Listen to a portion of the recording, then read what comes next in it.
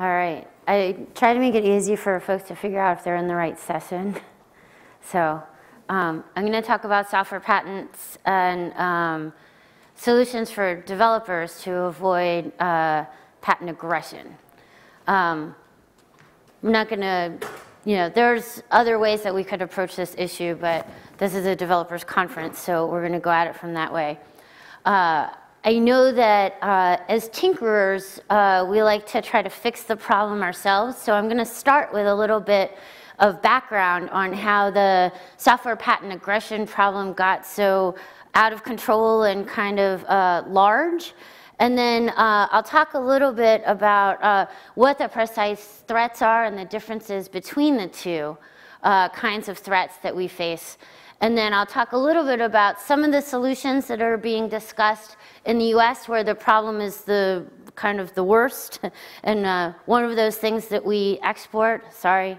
Um, and then, uh, and then I'll go through what we can do as developers.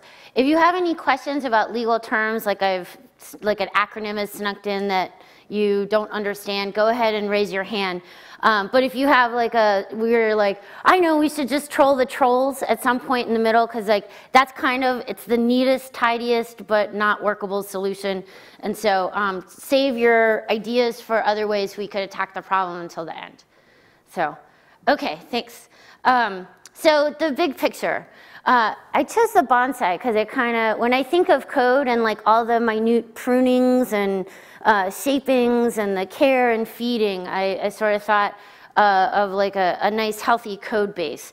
Um, and of course the last piece that um, anything delicate like that needs is protection. So we're going to talk about how uh, software patents uh, are killing our little tree here. So.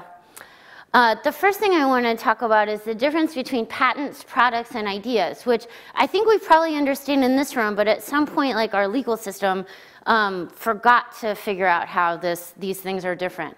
So um, patents originally were granted for physical uh, inventions, which they worked out pretty well for. Um, and it was to give you like a limited amount of time to gather materials and hire people to build your, you know, cotton gin or your new tractor or whatever. And for physical products, when you have to get like wood sent from one place and iron ore like mined from another place and then bring in specialists from another place, um, having a limited time monopoly might make some sense. It gives people a chance to like gather all of their materials together and then take their product out to the market obviously for software, um, on a really good weekend with enough Red Bull, like you could have your product ready by Monday. So uh, the 20-year limited monopoly that the U.S. Patent Office grants uh, doesn't really make so much sense as a grafting on.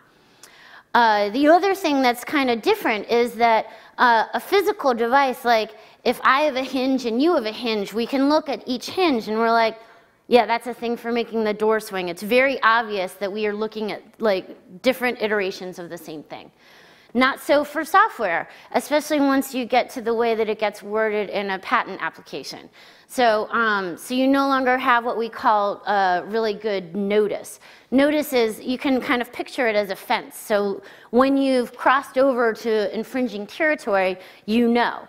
Um, and so with software, uh, I would guess that almost every piece of software we're using is infringing some patent somewhere. So, uh, and there were no fences. We just are using software. So, uh, so that's difficult. So, um, so we're not, we're not granting patents on physical devices. We're granting them on something closer to ideas. Um, and in fact, they're not even necessarily finished ideas. Uh, this is a legal term, functional claiming, which means that you can get a patent for, I recognize a problem, I'm going to solve it on a physical device called a computer, and then, um, um, you know, with software. So that you can see how the logic has gotten a little bit faulty. Like it's no longer, like you didn't build a tractor yet, or, you know, or whatever it is. But um, you say that you're going to solve a problem, comma, on a computer. And that is what's called functional claiming. And that started maybe in the 90s or so, and then sort of steamrolled because it's much easier to come up with ideas than it is to come up with actual solutions to problems, right? I have ideas all the time. Um, but uh, it would probably take me longer to write them all down. But if you're getting paid to write them all down, then, you know, that's a whole other jam. So um, what is currently patentable in the US? Because once I get to this part, people are like, well, why don't you guys just make it illegal to patent math? And um, unfortunately, math is, well, fortunately, math is already not patentable, that it's just that the statute isn't enforced in a very helpful way. So you're already not supposed to be able to patent something that somebody else is already using, um, and it has to be useful. Like you can't say, um, I want to patent a unicorn trap. That's the, even the US Patent and Trade Office will not give you a patent for that because um, it's not useful. And you aren't supposed to be able to get a patent on algorithms. Again, this is that thing where it is comma on a computer, which is a physical device, so it's tied to a device. And so that's, you know, so we're granting patents for algorithms, comma, on a computer. So that's like kind of where the law is. Um, novel, like I said, you can't patent something that other people are already using. Uh, at least you're not supposed to. Again, the problem here is notice, like, um, if you, the USPTO will grant a patent on something if they don't know that it isn't new. So uh, you end up with this problem of making sure they actually understand what's new and what's old. Um, I'm pretty sure they're not reading Slashdot or combing through GitHub with a fine-tooth comb, so they have some problems there on figuring out what's actually new. Um, lastly, it has to be non-obvious, so it can't be obvious to someone in the field. Uh, has anyone here ever made a basket? Okay. Um, so uh, you may have heard the phrase underwater basket weaving, which like conjures this image of someone in a scuba outfit, like for some weird reason making a basket, which sounds ridiculous. But uh, most baskets are actually made underwater. The basket is underwater, not the basket maker. So, uh, for instance, if you were to try and get a patent for underwater basket weaving, they should say no, because that's obvious to someone who already knows about basket making. Same thing with software. If, you get, if you're trying to get a patent for something that should be obvious to any software developer, then you should not be granted a patent on it. Unfortunately, have some problems as far as like uh, the US Patent and Trade Office understanding what's obvious. Some of that's the language that is used in patent applications, and some of that is the amount of time that they're able to have to look at each application. Uh, and then, as I said, it has to be useful. So no unicorn traps, no I fly with magnets, no mind control, no time travel. So uh, no one was going to patent those things, right? Okay. So good. Um, so measuring innovation. Um, a lot of times we hear the phrase, uh, this spurs innovation, or we're promoting innovation, or uh, we're in favor of innovation, we don't want to block innovation. And I think it's important to unpack that a little bit so that um, we understand what we're spurring or promoting or um, not blocking. And so uh, innovation, it comes from the Latin word for new. So it's supposed to refer to like a new idea or new product.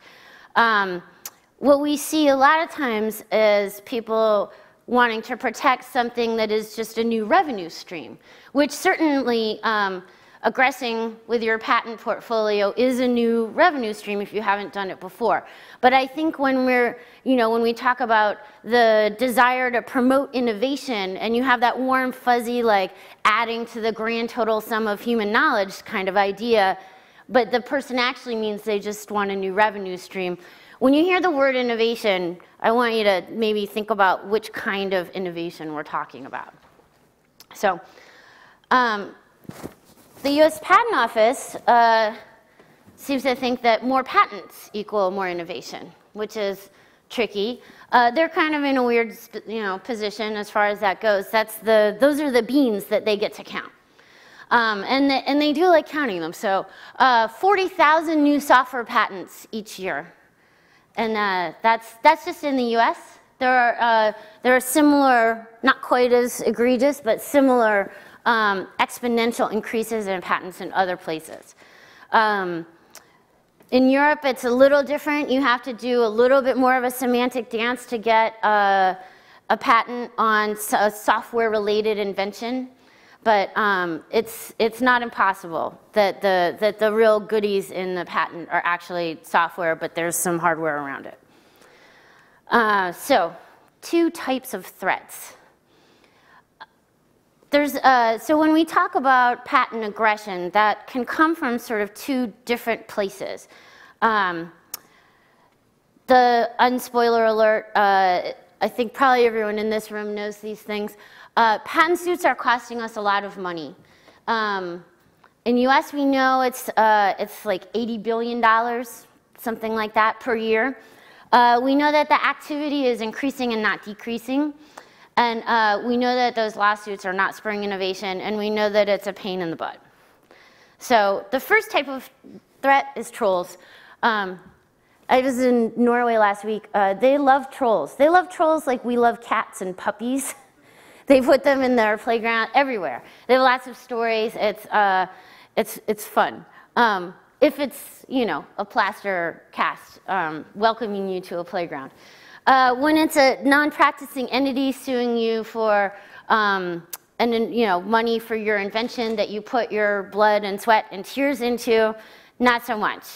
Um, so the annual wealth loss from the non-practicing entity lawsuits was about 80 billion, and this was as of 2011. As I said, this number keeps going up.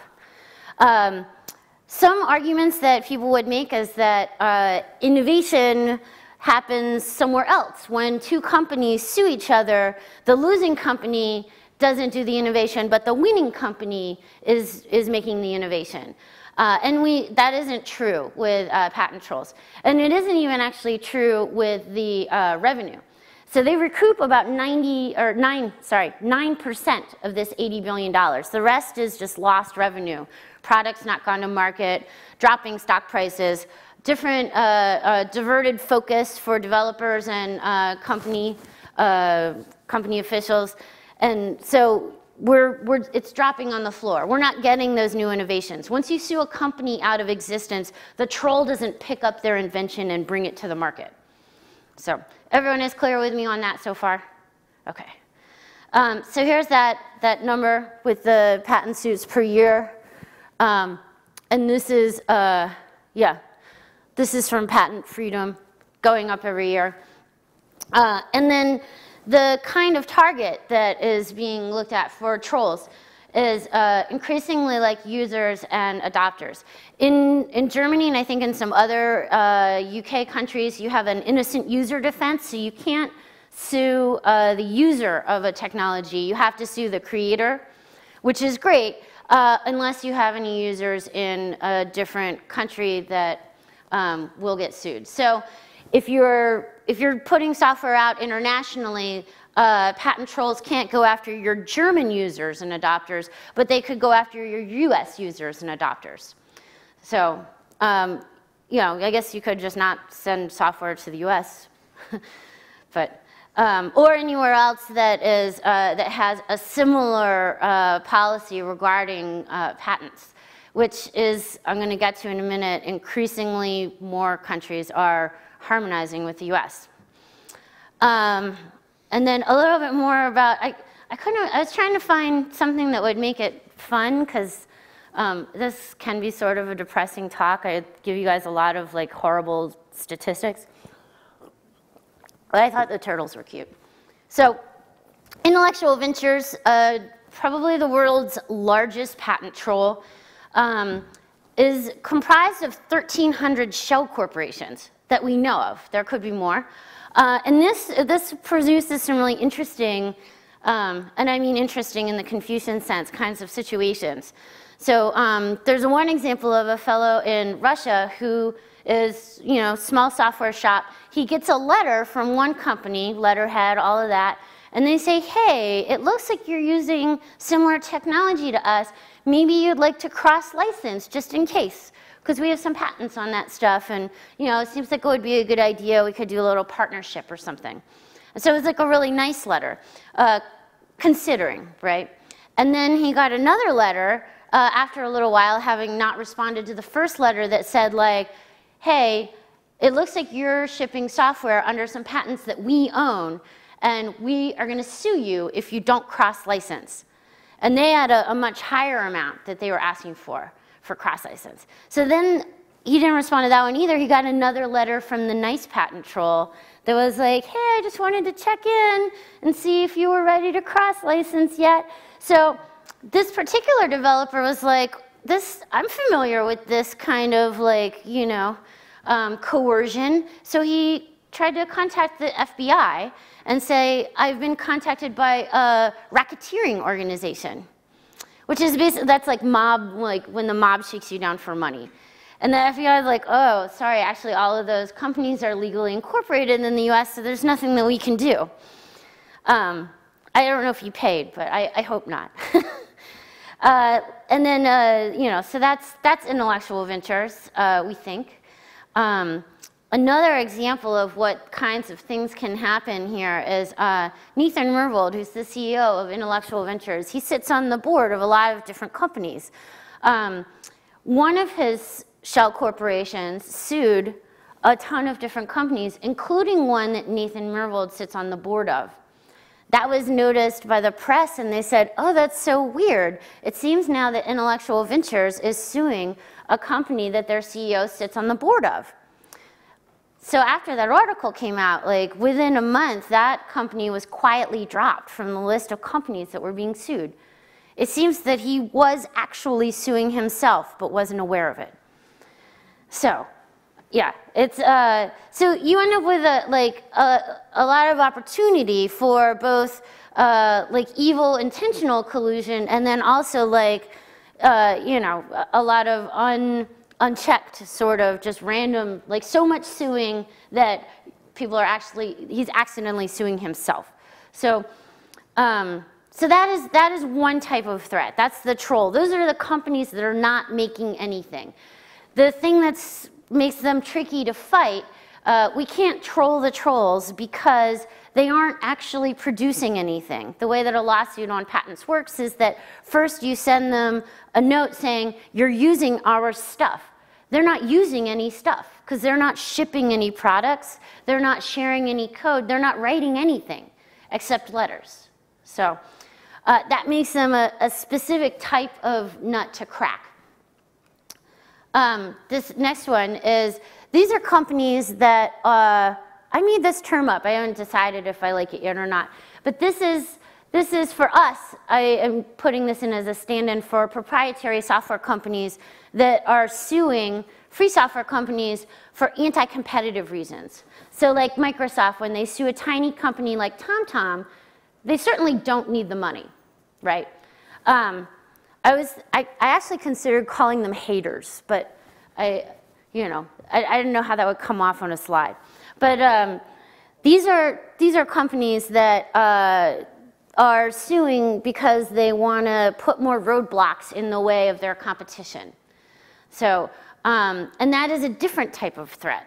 So um, this is, this kind of threat leads to uh, trying to work around thickets like the MPEG-LA thicket, uh, rewriting code, uh, pulling features out. There was a, um, a volunteer who writes GIMP plugins and uh, got a note from Borland, probably some like young new person in their IP department was like, hey, it looks like you are infringing a patent. Like, and they're like, awesome, I'm gonna make a little extra money. And, uh, and so he just pulled it, he buried it. He like scrubbed it off the web as best he could. He put a note up on his personal blog that said, don't ever ask me about those plugins again. I, I've, I've destroyed them, they're gone. You know, it's so, um, so we don't get this other functionality that we could have used on GIMP. Um, when we, when we had the, the anti-aliasing font was still in effect, you would have, you know, like your friend would come over, you told them, oh, I'm gonna show you this great new thing. It's a totally different operating system. It's free, it's cool. Uh, and you pull something up and they're like, oh, the fonts look kind of fuzzy and crappy. And it's like, well, yeah, I mean, and you might have, you might have known why. Maybe you did, maybe you didn't. But uh, it makes, it makes a Linux not look as good when we had to pull little things because of patent encumbrance issues. Um, and it's obviously, it's, it's not fun to go back in and look at the legal side, figure out how to code around it and go back and forth um, when you may not have even gotten a letter, but you know a colleague has gotten the letter. So Um, so this, the, the strategic aggressor type of suits, the anti-competitive suits, um, create a different set of problems, a different kind of response.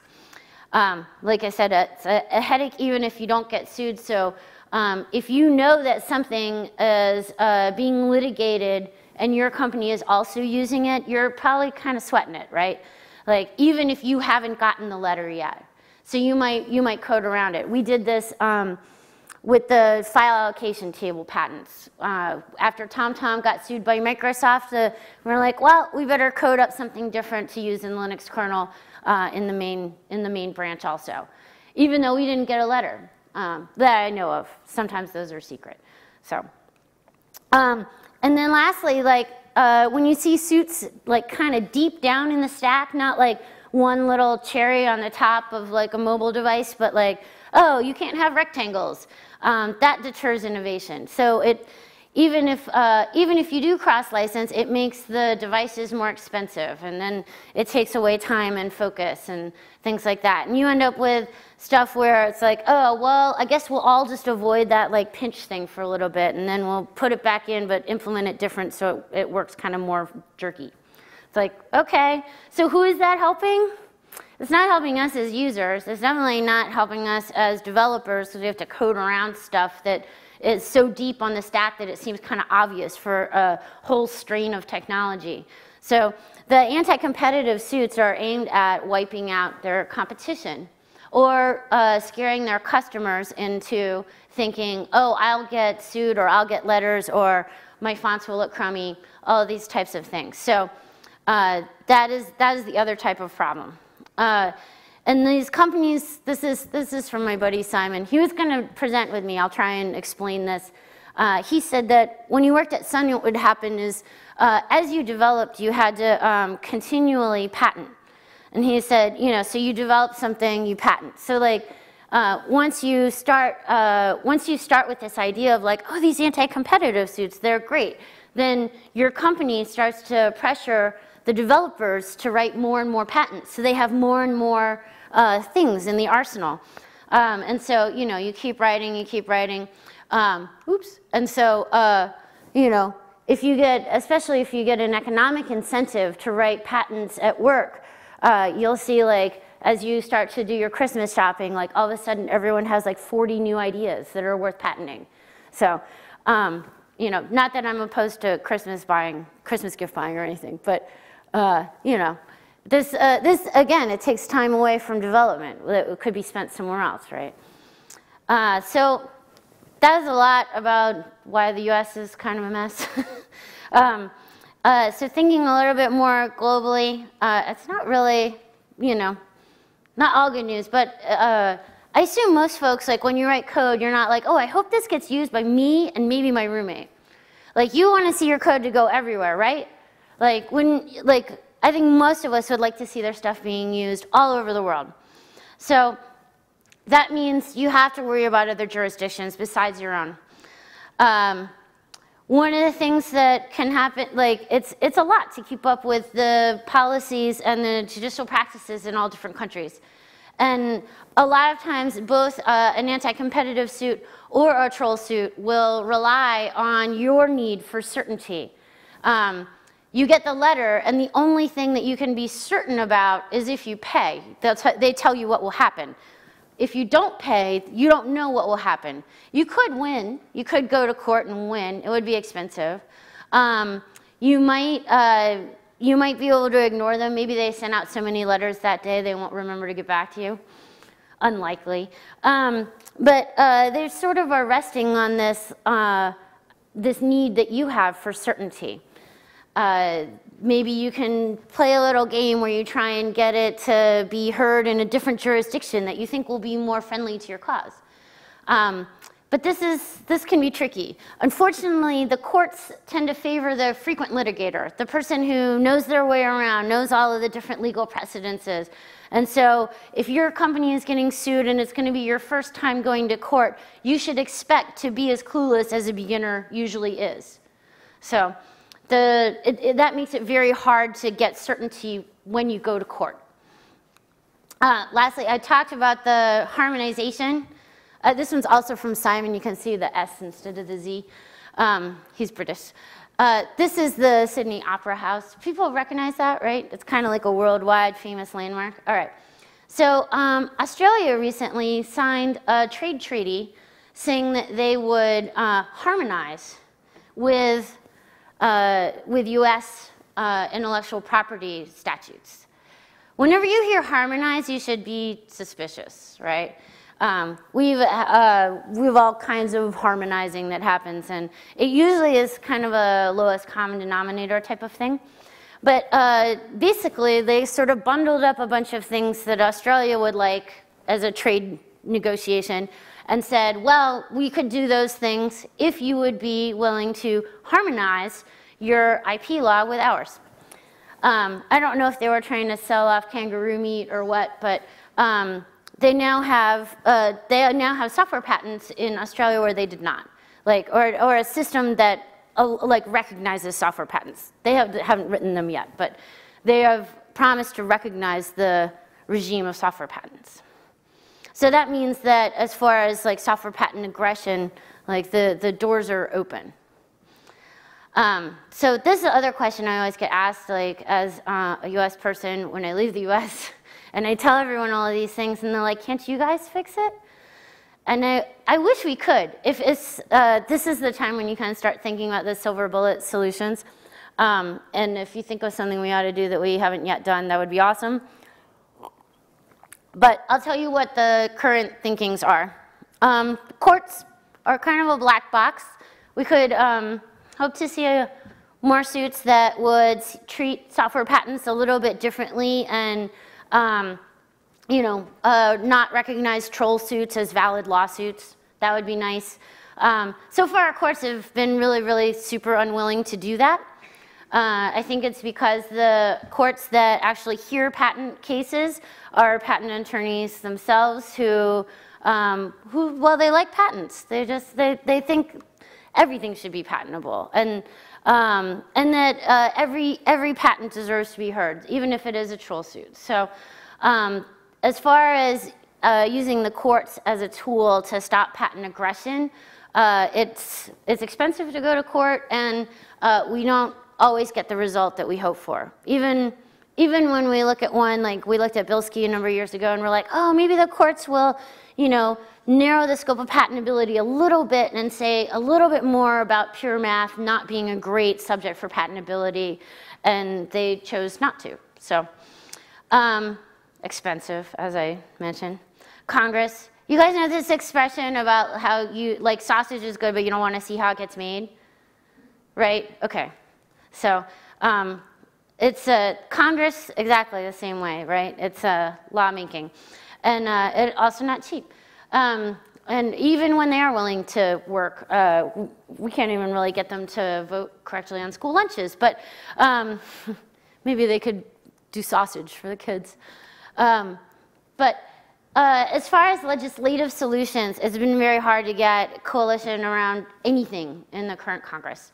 Um, we uh, have also looked at policy change at the USPTO. Um, they, uh, they look at certain type, like certain categories of patents in a different way. And some of those solutions could be ported over or kind of tweaked a little bit to uh, make it so that some of the egregious stuff that we all would look at and be like, oh, there's no way that should be patentable, that those things could be uh, denied. So it's, uh, and I think this has good history. The, um, we like to think that everything in the software world has never happened before, but um, we saw patent speculation during the railroad boom. We saw patent speculation on farm implements before that. And uh, what ended up working was not a, everyone going down to Congress with pitchforks and, to, you know, uh, asking for the whole system to be demolished and abolished. Uh, they looked at industry-specific reform that made it better.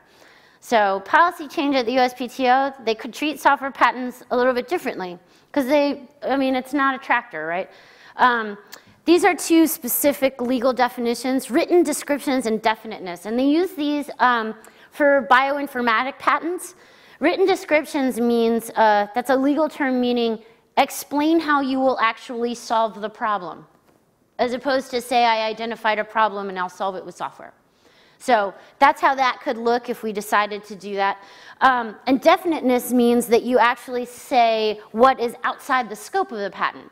My understanding, a little, I'm not so up on the bioinformatics, but I, I think they want to make sure that you're not uh, patenting parts of people or uh, like gross unethical cloning practices and things like that with human beings. So they, they want you to really like say like this is what's in the patent and then these other things are not. Just so you know, I'm not trying to get Frankenstein here. I'm just trying to like, you know, nice new glass eyes or whatever. So um, we could, we could port this over to software and I think it would get rid of a lot of the more egregious software patents that we all know should not be in there. Um, another pair of eyes, this is a, I love how the government, they actually uh, use this, I think, as an acronym even, APOE. It's like, a, if anyone loves acronyms more than software developers, it might be government. But uh, this, this is basically just means you have a second person take a look at the patent application to make sure that it's not like, no, no, no, no, no, that's just ridiculous. Just a second person taking a look at it. Right now, we usually have one examiner take a look. So, um, and then Obama, he actually uh, spoke recently about software patents and patent trolls.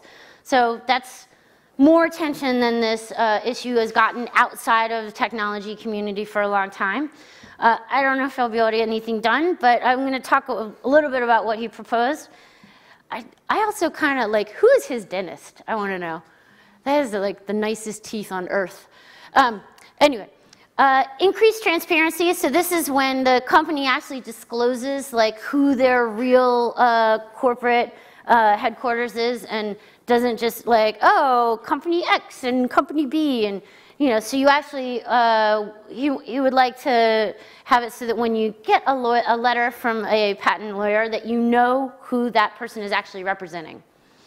Um, me, the losers pay the litigation fees, so when you have a patent suit, um, this is also aimed at trolls. It means that, uh, so patent trolls, there's no, uh, there's, there's no disincentive for them to send out hundreds and hundreds of letters.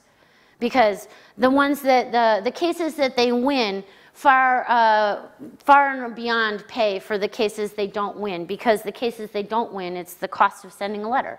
So um, making the losers pay the litigation fees means that trolls would be a little more strategic i guess about who they choose to sue um, and they would stop bothering some of the um, companies where it's like a, a much looser claim um, and then lastly, uh, sort of letting the Federal Trade Commission go after trolls. So um, you can see like there's sort of a theme here. Like uh, we had on the National Public Radio, uh, had like two different shows about trolls. And um, in the US, we have this, uh, we, we think we have this uh, enemy of people who don't work. And, and trolls fall into that category for us. Like, so, uh, so there's a lot of energy around the non-practicing entity problem. So, uh, so all of the kinds of reforms that are on the board are bad for trolls, but they don't really cover the strategic aggressor problem. Uh, these are companies that have employees that, that do actually do things besides send letters. So um, out of all of the reforms that are being discussed uh, for the, you know, for the patent system, um, we're not really going to get to the strategic aggressor problem. I mean, we might. It's possible. We might vote all new people into Congress that are capable of getting things done. But um, I, I, think it's more likely that we, we won't. Um, maybe that's the pessimistic part, I guess. I used to be more of an optimist, I promise. Um, anyway, so what can we as developers do? Um, so this is, this is from Simon. So this is, so this is kind of a four-part thing. Um, these are all the patents that threaten your software. Uh, the first thing that you can do is use a modern software patent, uh, software license that mentions patents specifically. That says like you can't just take my open source code and then patent it. You know, so that's that's piece one. Um, you can also do uh, what we call like kind of a scorched earth. So you you have your key invention and then you sort of like scorch the earth around it with defensive publications. Um, and those are uh, cheaper to do than patents. It also gives you more coverage.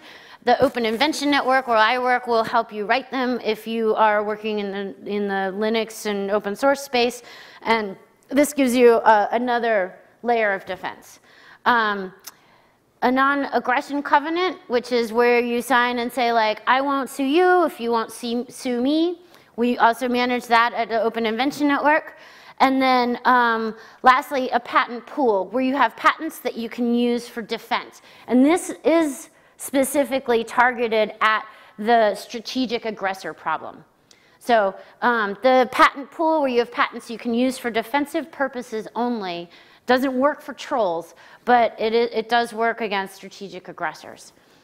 Um, so strength through community, uh, that's the great thing about all of those solutions on the little pyramid graph is that we don't have to wait for Congress or Obama or uh, the, you know, anyone in government anywhere to affect that change. We can use those solutions today. Um, so just to recap, so I think we're closing on the end here. Uh, patent validity, uh, unfortunately, not important. Uh, you, you can get a letter whether that patent is good, mediocre, or just a big pile of crap.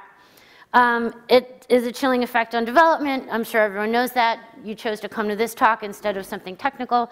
Um, your international customers can be sued, which sucks.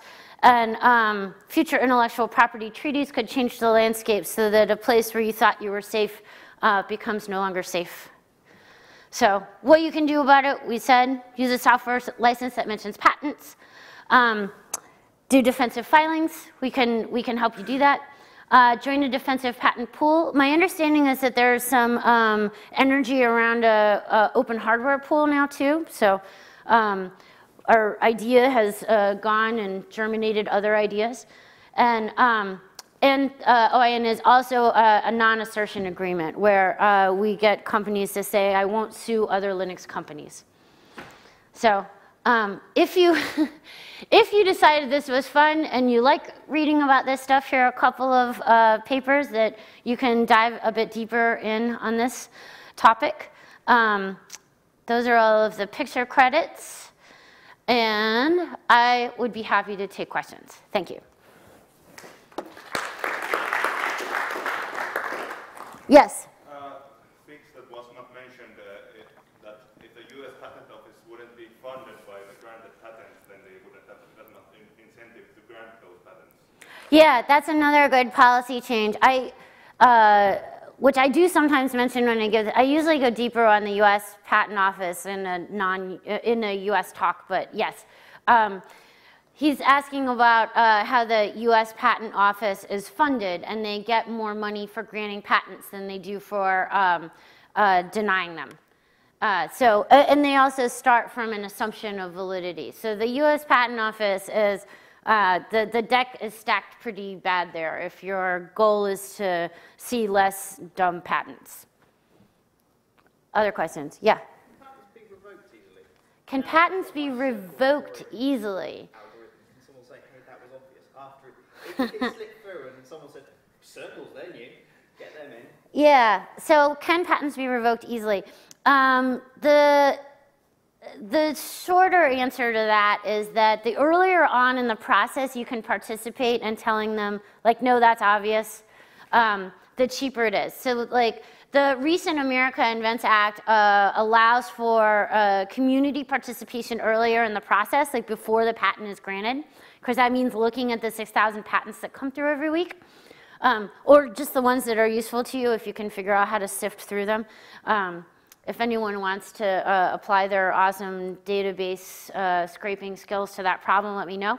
But uh, yeah, so pre-grant submission, a little easier to get involved because there's a portal and a, an opportunity. Usually after the patent is granted, you have to challenge it in the courts, which is, which is expensive. So yeah, so the, the, the, the best plan is to get to them before they are granted. So.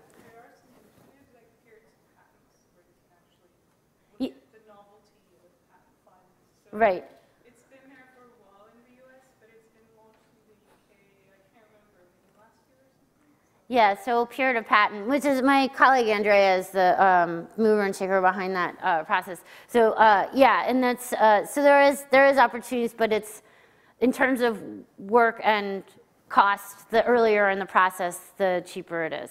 Um, You should definitely go to her talk tomorrow at, what time?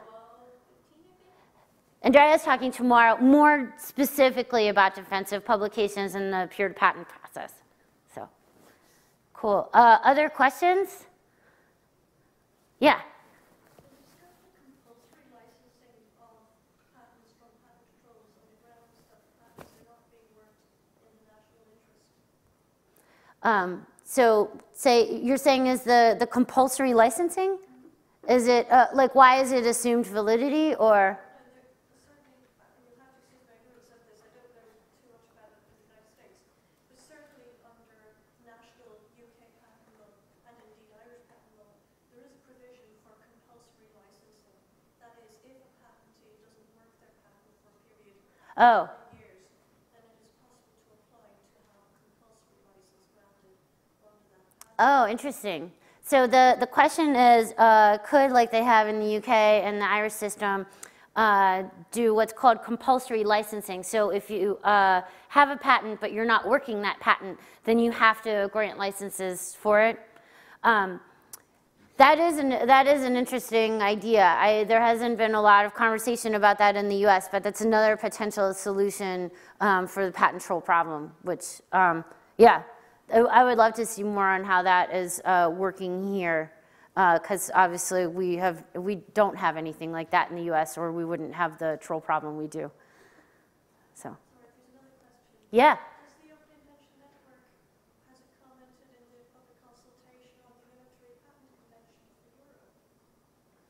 Oh, uh, oh, so no, we're um, so we're pretty focused on community solutions for developers, and generally don't get in on the lobbying game. Uh, but that's not to say that individual members don't do that. Um, but that's we we kind of said like everyone who's in favor of non-aggression come in here. And, and if that's like kind of the lowest common denominator we could get everyone to agree with. So we have companies that, you know, feel differently about uh, what would be the best type of reform to uh, stop undue patent aggression. But uh, what, we ha- what we've focused on is getting people to stop suing each other and start, you know, talking about more things that might be in a common interest. So I hope I answered that. Um, is there any more over here, over there? Um, okay, so my email is deb at Open Invention Network. Um, if you want more on peer to patent and uh, defensive filing, go to Andrea's talk tomorrow. Um, if you want to email me, you can. I'm not a lawyer, so I won't give you free legal advice even over email.